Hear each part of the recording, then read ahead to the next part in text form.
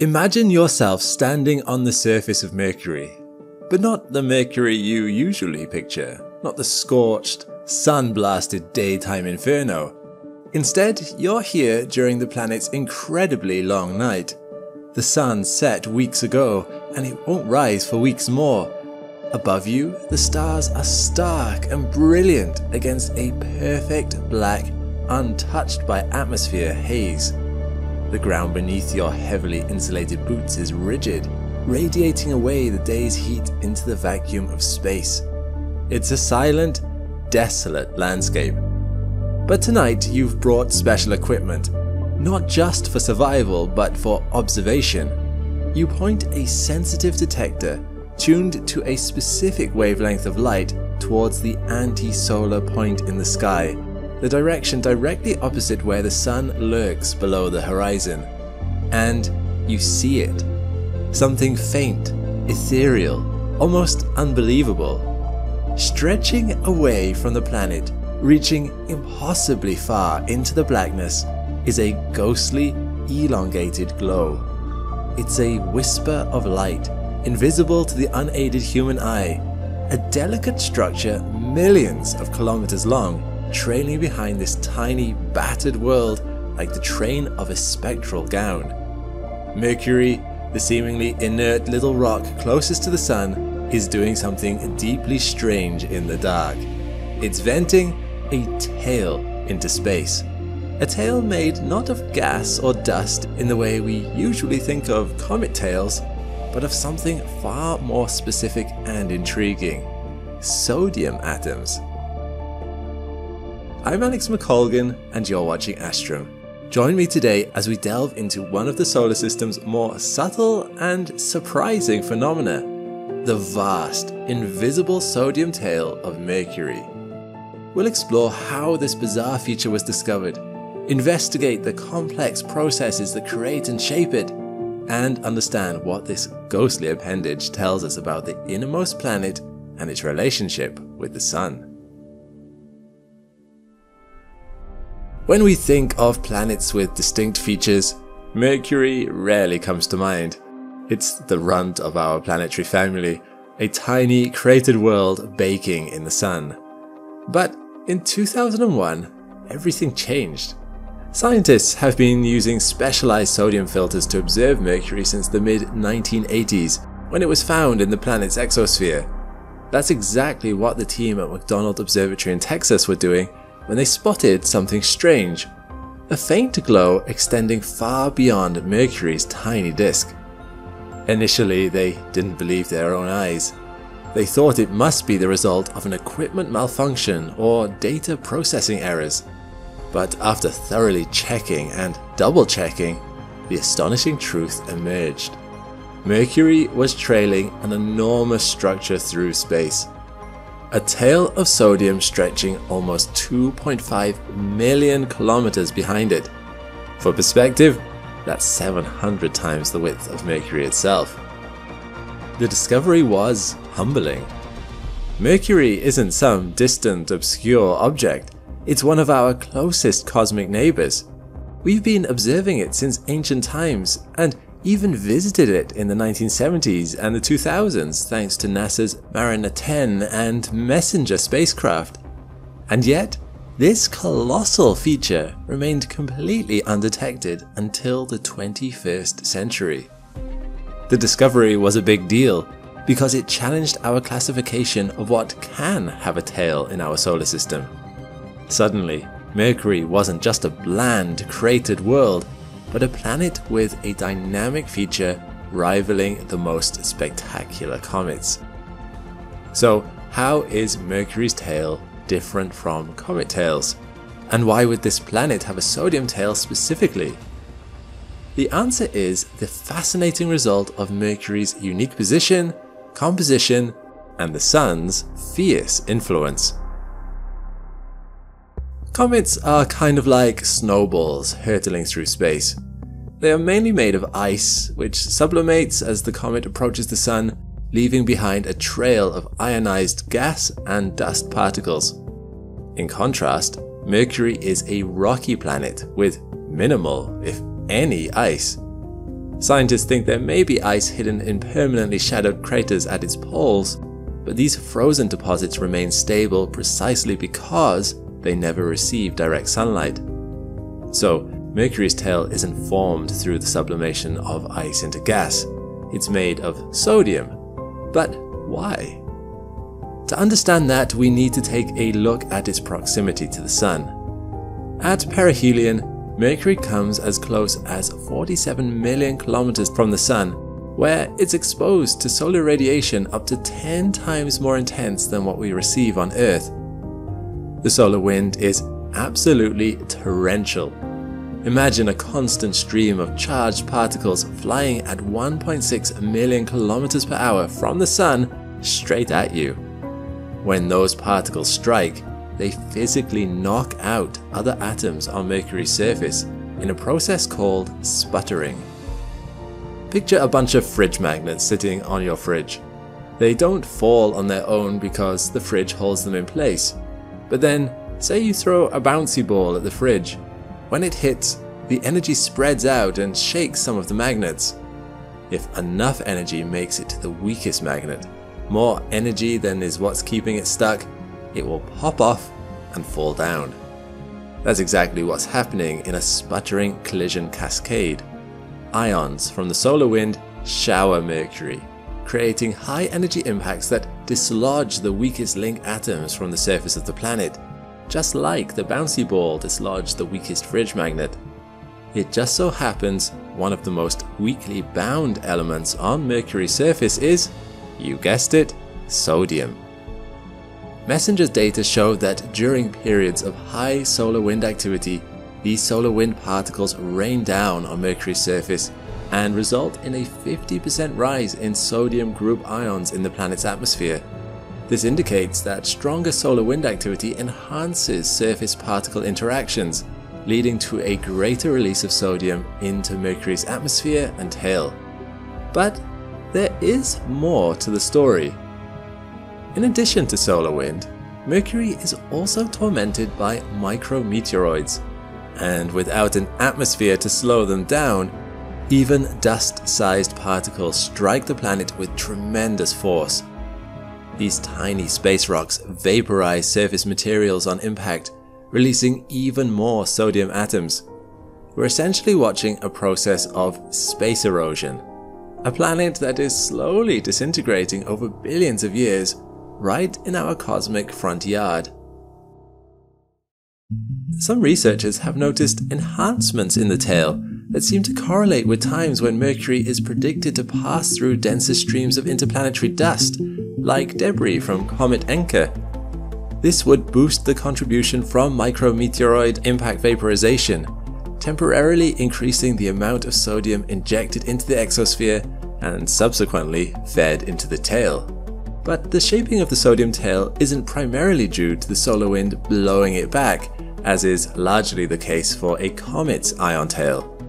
Instead, the dominant force sculpting Mercury's sodium tail is solar radiation pressure. This is a subtle but powerful effect. Photons, despite having no mass, carry momentum. When a sodium atom in Mercury's exosphere absorbs a photon of light, it gets a tiny push in the direction the photon was traveling, away from the sun. It then quickly re-emits a photon in a random direction, causing negligible recoil on average. However, it's immediately ready to absorb another photon coming from the sun. This continuous process of absorbing solar photons and receiving tiny, directed pushes effectively acts like a gentle but constant wind pushing the sodium atoms away from the sun. Imagine countless tiny solar sails, each one a sodium atom, being persistently nudged by sunlight. This relentless pressure accelerates the atoms anti-sunward, overcoming Mercury's weak gravity and stretching them out into the vast, elongated tail structure observed from Earth. Because radiation pressure acts directly away from the Sun, the tail reliably points in the anti-solar direction. But, as I mentioned, despite being so big, it's not actually visible to the naked eye, So how did scientists spot it? When sodium atoms absorb energy, they become excited, or their outermost electron jumps to a higher energy level. When this electron falls back to its ground state, it emits photons at a very specific wavelength, 589 nanometers. Light at this wavelength has a distinct color you've definitely seen before. It's the color of old streetlights. This process is happening constantly in Mercury's tail. However, the tail is hidden from the human eye and from standard telescopes. To reveal it, astronomers use specially designed filters called sodium D-line filters that isolate light at precisely 589 nanometers. These filters block all other wavelengths, allowing the faint glow of sodium to stand out against the black background of space. By deleting all other wavelengths from their results, scientists were able to see the luminescent glow of Mercury much more clearly. Deleting data is actually a surprisingly useful tool in science and in day-to-day -day life too. Your personal data, for example, is almost certainly out there in public records, but also each time you sign up to a mailing list or post publicly on social media. And it can easily fall into the hands of data brokers who then buy and sell it to whoever wants it no matter their intentions. This is a problem that Delete Me, the sponsor of today's video, can help combat. Delete Me contacts data brokers and forces them to delete your data off their servers and keep you off it, helping protect you from being targeted by advertising companies, criminals, and scammers. It's easy. It just takes a few clicks giving Delete Me permission to get going, but I love the peace of mind I feel as I see the status reports come rolling in telling me that my data is being deleted. So take advantage of deletion in your own life. Scan my QR code and follow the link joindeleteme.com forward slash Astrum and use promo code Astrum at checkout for a 20% discount off your plan. I highly recommend it. Now, back to Mercury. By deleting all other wavelengths of light, scientists were able to see the sodium tail, Mercury's sodium tail varies dramatically throughout its 80-day orbit around the Sun, which is highly elliptical. When Mercury reaches perihelion, the increased solar radiation dramatically intensifies the rate of sodium ejection from its surface.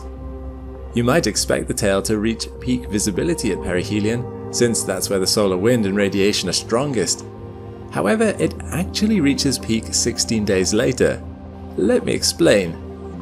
Since Mercury's orbit is highly elliptical, its orbital speed also varies a lot, from 39 km per second when it's farther from the Sun to 59 km per second when it's closer. Through repeated observations, scientists noticed that Mercury reaches its maximal radial velocity after slingshotting past the Sun, exactly 16 days after perihelion. In other words, that's when it's traveling away from the sun at its top speed, creating optimal conditions for the sodium tail to extend and become more observable. But why would higher speed lead to a brighter tail? Two words, Doppler shift. When we look at the spectrum of light from the sun, we see dark lines called Fraunhofer absorption lines, where certain wavelengths of light are being absorbed by elements in the Sun's atmosphere before the sunlight is emitted. The Sun's atmosphere contains sodium, just like Mercury's tail, which absorbs all the sodium-specific light before the light travels to Mercury.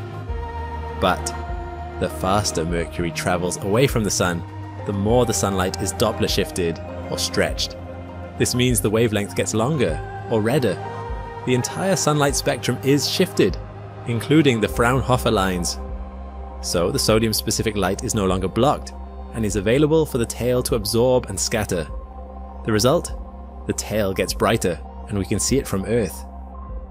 So if astronomers wanted to spot Mercury's tail, they just need to look up on day 16 past perihelion, right? Well, it's not that simple. There are three other main factors at play to consider. Firstly, Mercury must be at a sufficient elongation from the Sun and Earth sky so that it isn't caught in the glare. Secondly, it can't be behind the Sun from Earth's perspective. And finally, it must be at the perfect angle for Earth-based telescopes to view its anti-sunward direction. This astronomical alignment only occurs during very specific periods, roughly every few years. And to think, the scientists at McDonald Observatory caught it basically by coincidence. Talk about perfect timing. Some of the most spectacular images of Mercury sodium tail have come from observatories utilizing coronagraphs, instruments that block the sun's direct light, allowing the faint glow of the tail to become visible even when Mercury is relatively close to the sun in our sky.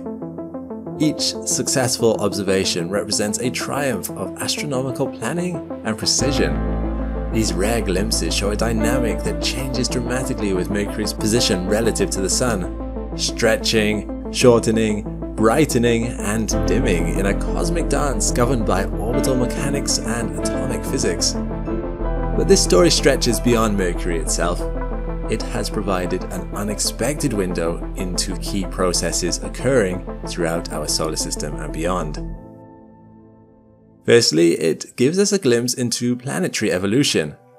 While the current rate of surface material loss is too small to significantly alter Mercury in human timescales, over billions of years, this process could potentially affect its surface composition, gradually depleting sodium and other easily liberated elements.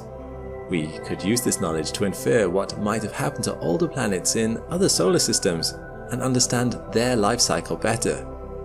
Secondly, and perhaps most excitingly, the discovery has profound implications for exoplanet research. Many star systems contain hot Jupiters, massive planets orbiting extremely close to their stars. If Mercury can generate a 2.5 million kilometer tail, these giants likely sport even more dramatic features, potentially shedding significant mass through similar mechanisms. The detection methods developed to study Mercury's tail are now being applied in the search for similar phenomena around distant worlds. By looking for the distinctive spectral signatures of elements being stripped from exoplanets, astronomers may gain new insights into their composition and environment. In fact, we have already detected similar sodium tails around our own moon, suggesting this phenomenon may be common around airless bodies exposed to solar wind. Mercury's sodium tail represents a perfect opportunity for studying planet-star interactions throughout the universe. By better understanding this phenomenon, we gain crucial insights into how stars shape and erode their planetary systems over billions of years. ESA's Bepi-Colombo mission has already completed six rapid flybys of Mercury. It's set to enter into orbit in December 2025 where it will spend at least one Earth year studying Mercury's internal composition and its impressive exosphere. This will provide data on the sodium tail in unprecedented detail, promising new discoveries about this fascinating phenomenon. Mercury's elusive tail reminds us that even after centuries of astronomical observation, fundamental discoveries about our closest cosmic neighbours are still being made. What other secrets might our cosmic neighborhood still be hiding? The universe never stops surprising us. All we need to do is keep looking. Thanks for watching. This video was in part made possible by all the astronauts on Patreon. If you think these videos add some educational value to the world and want to give them more stability than the algorithm, you can become a paid member on Patreon to contribute towards their creation. When you join, you'll be able to watch the whole video ad-free, see your name in the credits, and submit questions to our team. Just sign up with the link in the description. Meanwhile, click the link to this playlist for more Astrum content. I'll see you next time.